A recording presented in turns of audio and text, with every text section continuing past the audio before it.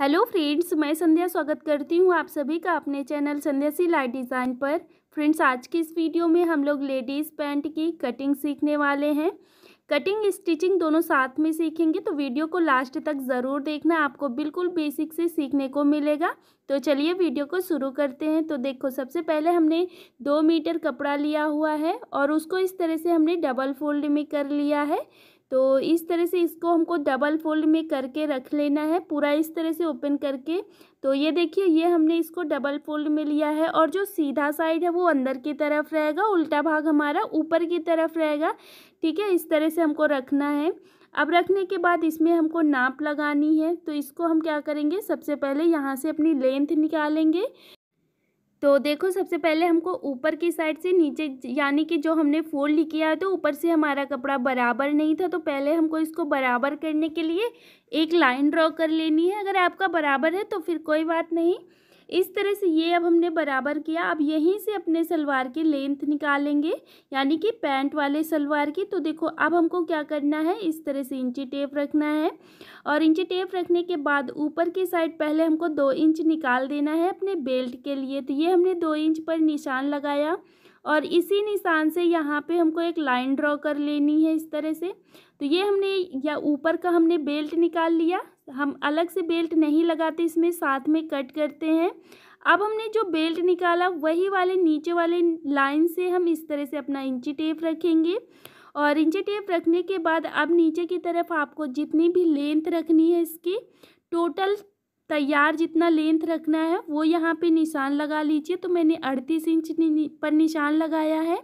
उसके बाद नीचे की तरफ़ हमको दो इंच फोल्ड करने के लिए, यानी कि मोहरे के लिए हमें कपड़ा ले लेना है। तो इस तरह से यहाँ पे हमने दो इंच नीचे भी ले लिया कपड़ा और दो इंच ऊपर।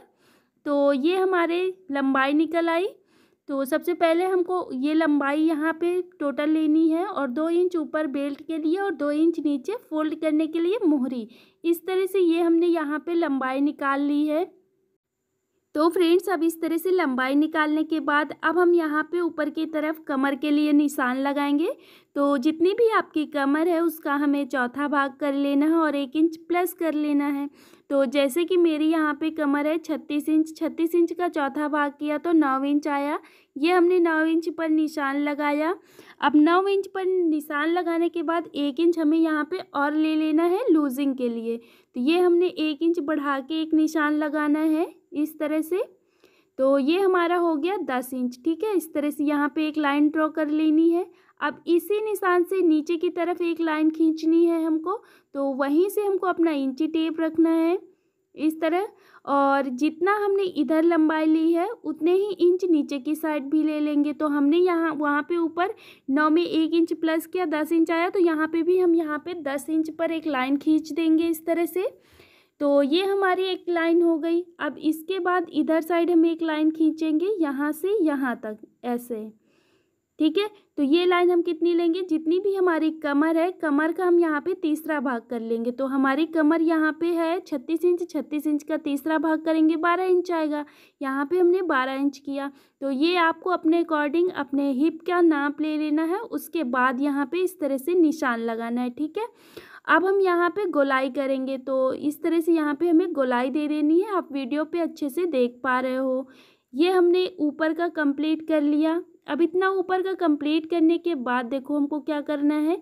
जो हमने ये निशान लगाया है बारह इंच पे, यहाँ पे हमको इसका सेंटर निकाल लेना है। तो ये बारह इंच था तो इसका सेंटर हमारा छः इंच पर आएगा। और इसको हमको ऐसे ही पकड़ना है और से पकड़ के नीचे की तरफ़ हमें यहाँ पे भी सेंटर निकाल लेना है। यानी कि यहाँ पे भी हमने छः इंच पर एक मार्क किया। अब इन्हीं निशानों से हम नीचे तक एक लाइन खींच लेंगे। पूरी बराबर से तो इस तरह से आपको इंची टेप रखना है और ऐसे एक लाइन खींच देनी है। तो ये हमने यहाँ पे बिल्कुल सेंटर पे एक लाइन खींच दिया है। तो इतना करने के बाद अब हमको अपना इंची टेप लेना है और जो हमने बेल्ट ऊपर निकाला है, बेल्ट छोड़ के नीचे वाली लाइन से ऐसे अपना इंची टेप रखना है और नीचे की तरफ़ मोहरी छोड़ के नीचे की तरफ़ जो हमने लाइन खींची है, वहाँ पर से हमको इसका सेंटर निकाल लेना है। तो ये सेंटर हमने क्यों निकाला है? यहाँ पे हम अपने नी राउंड का नाप का निशान लगाएँगे जिससे कि हमारी यहाँ पे फिटिंग आएगी अच्छी, ठीक है? तो इस तरह से ये हमने यहाँ पे इसका सेंटर निकाला और जितना भी आपका नी राउंड का गोलाई है तो उसका हम क्या करेंगे? हाफ़ कर लेंगे। पहले तो हाफ़ करेंगे, हाफ़ करने के बाद फिर से उसका हाफ़ कर देंगे, यानी कि चौथा भाग कर लेंगे। इस तरह से ये हमने यहाँ पे चौथा भाग निकाल लिया है। तो ये आया है हमारा साढ़े चार इंच। अठारह इंच था तो अठारह इंच का हम हाफ़ करेंगे। तो नौ इंच आएगा, अब नौ इंच का हाफ़ करेंगे तो साढ़े चार इंच आएगा। तो अब हमने जो सेंटर पर लाइन खींची है, वहाँ से दोनों साइड हमें हाफ़ हाफ़ लगाना है, यानी कि साढ़े चार चार इंच सेंटर से। ठीक है, इस तरह से ये हमने ऊपर साढ़े चार इंच पर निशान लगाया। अब हम नीचे की तरफ़ ये जो जितना बचा है, यहाँ से यहाँ तक एक बिल्कुल सेंटर निकाल लेंगे और ये सेंटर निकालने के बाद जैसे हमने वहाँ पे साढ़े चार इंच निशान लगाया है तो यहाँ पे हम एक इंच कम कर देंगे तो यहाँ पे हम साढ़े तीन इंच पर लगा लेंगे। तो आपका नी राउंड ज़्यादा भी हो सकता है, कम भी हो सकता है तो उसी के अकॉर्डिंग आपको यहाँ पे एक इंच कम करना है। तो यहाँ पे मैंने साढ़े तीन इंच पर निशान लगाया। अब नीचे की तरफ़ मोहरी का निशान लगाएँगे तो आपकी जितनी मोहरी रखनी है तो मुझे यहाँ पे बारह इंच की रखनी है तो छः इंच हाफ़ कर देंगे उसका। और हाफ़ करने के बाद यहाँ पे हम हाफ़ हाफ़ दो लाइन के दोनों साइड तीन तीन इंच पर निशान लगा लेंगे। अब इन निशानों को यहाँ से यहाँ तक ऐसे मिला देना है इनको बराबर से। तो इस तरह से ये हमको यहाँ पे इसको मिला देना है सारे निशान। ये हमने कंप्लीट कर लिया इतना। ये देखिए, अब हम इसको क्या करेंगे? जैसे हमने यहाँ पे निशान लगाया, वैसे ही इसको अब हम कट कर लेंगे तो इसको हमको बराबर से कट कर लेना है। तो देखो, ये हमारा नीचे तक पूरा कपड़ा था ना, जो नीचे से फोल्ड करना है तो यहाँ तक एक लाइन खींच लेनी है और अब हम इसको ऐसे ही कट कर लेंगे।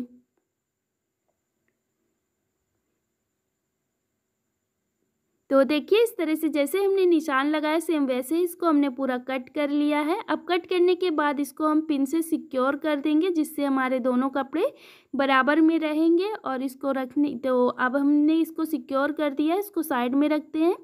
अब देखो, जो कपड़ा हमारा बचा हुआ है, उसको हम ऐसे रखेंगे ओपन करके और ओपन करके रखने के बाद ये जो हमारा फ्रंट पार्ट है, जो अभी हमने कट किया है, इसको हम उसी कपड़े के ऊपर बिठा देंगे। इस तरह से उसके ऊपर हमको इसको रख लेना है और ऐसे रखने के बाद अब हम इसमें कटिंग करेंगे बैक पार्ट की। तो देखो, एक साइड से तो हमारा पूरा बराबर रहेगा, लेकिन एक साइड हमारा चेंज होगा, ठीक है?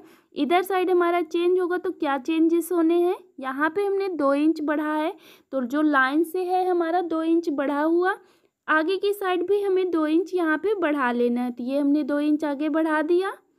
ऐसे। देखो, यहाँ पे हमने दो इंच, ये कोने से दो इंच हमने बढ़ाया, एक लाइन खींच ली है। अब सेम इतना ही हमें दो इंच ऊपर भी बढ़ाना है। तो ये हमने दो इंच बढ़ाया और नीचे तक एक लाइन खींच देनी है इस तरह।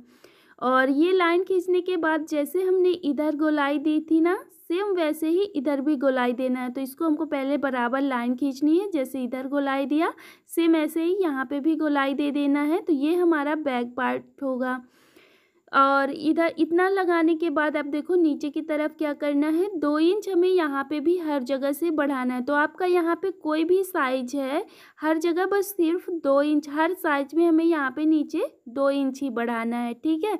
तो इस तरह से ये हमने बढ़ा लिया और यहाँ पे अब हमको लाइन खींच जैसे हमने निशान लगाया है, ऐसे ही यहाँ पे हम इसको ऐसे लाइन ड्रॉ कर लेंगे। तो इस तरह से ये हमने लाइन ड्रॉ कर लिया।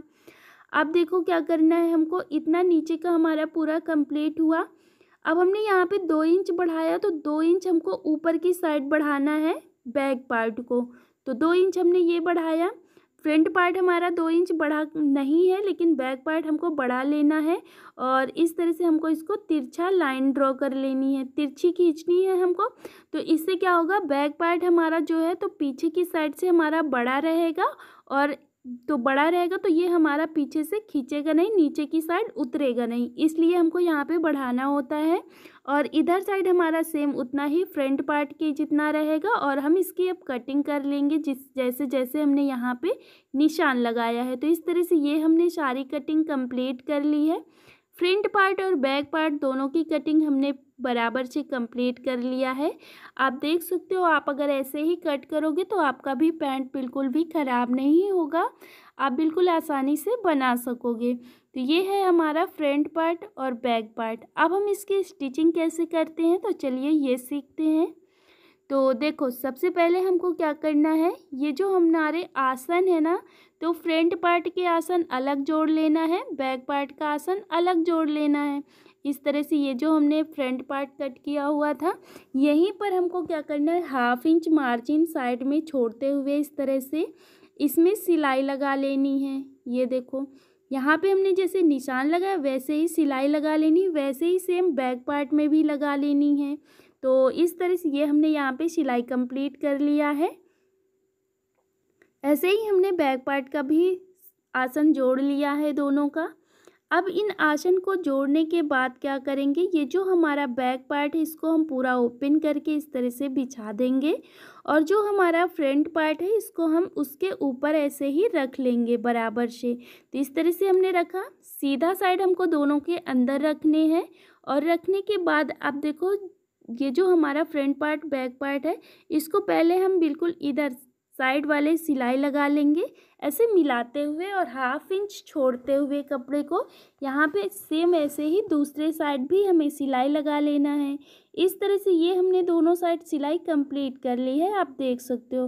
तो इसकी स्टिचिंग बहुत ही इजी तरीके से और बहुत ही जल्दी कंप्लीट हो जाती है। अब हम यहाँ पे बीच में सिलाई लगा लेंगे। तो ये हमारा फिटिंग वाला सिलाई भी हो गया। तो इस तरह से ये हमने पूरी सिलाई कंप्लीट कर ली है। अब हमारा यहाँ पे बेल्ट बचा हुआ है और मोहरी बची हुई है। तो चलिए अब हम मशीन के ऊपर देखते हैं इसको। ये है हमारी मोहरी, ठीक है? मोहरी को क्या करना है? हमने दो इंच यहाँ पे एक्स्ट्रा लिया हुआ था। तो जितना हमने दो इंच एक्स्ट्रा लिया हुआ था, उसको हम दो इंच ही अंदर की तरफ़ फोल्ड कर देंगे पहले तो। तो इसको हमको बराबर से फोल्ड करना है। इस तरह से। तो देखो, इस तरह से ये हमने यहाँ पे अंदर की तरफ़ दो इंच कपड़ा फोल्ड कर दिया है। फोल्ड करने के बाद अब हम आगे की साइड से ऐसे फोल्ड कर देंगे और यहाँ पे पूरे गोलाई में हमें यहाँ सिलाई लगानी है।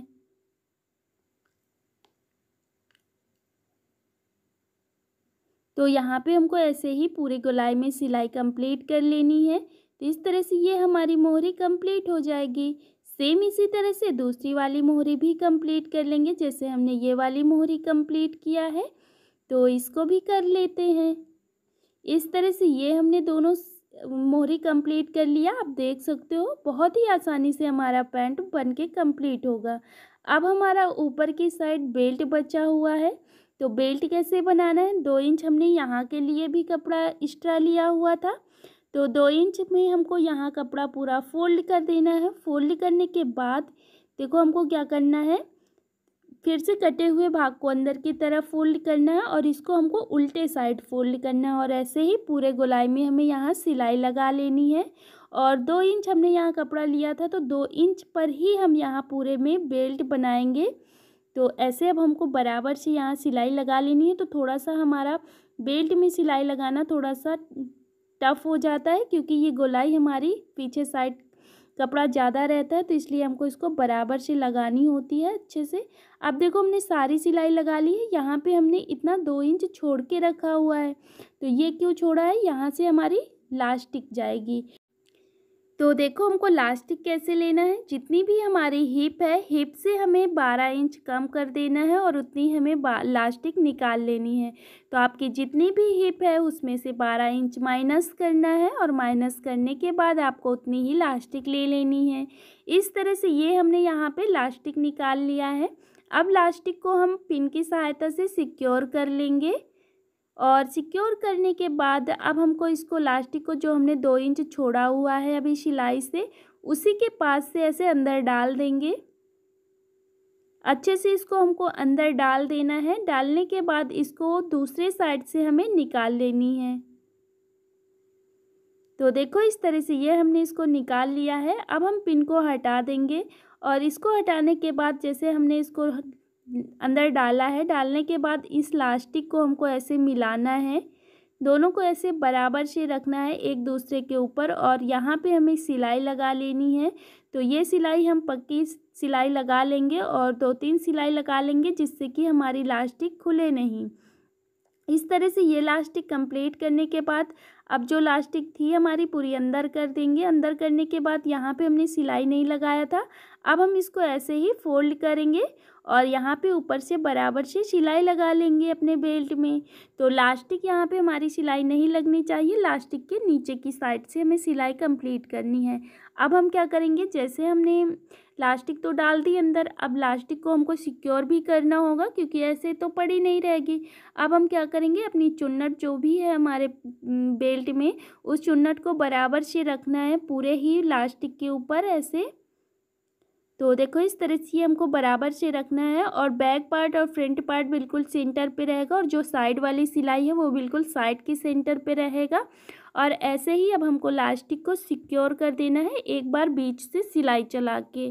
तो देखो, सबसे पहले हमको इसको ऐसे रखना है, रखने के बाद इसको हमको कपड़े को खींचना है, यानी कि लास्टिक के साथ कपड़े को खींचना है और पीछे से भी खींचते जाना है और यहाँ पे सिलाई कंप्लीट कर लेनी है। तो इस तरह से ये हमने सिलाई कंप्लीट कर लिया है। तो इस तरह से ये हमारा सारा सिलाई कंप्लीट हो गया है, पूरा प्लाजो पैंट कंप्लीट हो गया है। आई होप आपको समझ में आया होगा और जहाँ पे भी नहीं समझ में आया है, आप मुझसे कमेंट करके पूछ सकते हो, मैं उसका आंसर ज़रूर दूँगी या फिर अगले वीडियो में आपको वो सब समझाने की कोशिश करूँगी। तो इस तरह से आप कम बनाओगे तो आपको बिल्कुल आसानी से पैंट तैयार हो जाएगा। आई होप आपको वीडियो पसंद आया होगा। अगर पसंद आया तो प्लीज़ वीडियो को लाइक, शेयर, चैनल को सब्सक्राइब करना बिल्कुल भी मत भूलिएगा। मिलते हैं हम लोग नेक्स्ट वीडियो में। थे